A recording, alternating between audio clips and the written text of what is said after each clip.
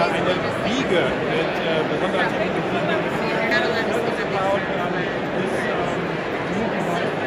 Yes. So this is the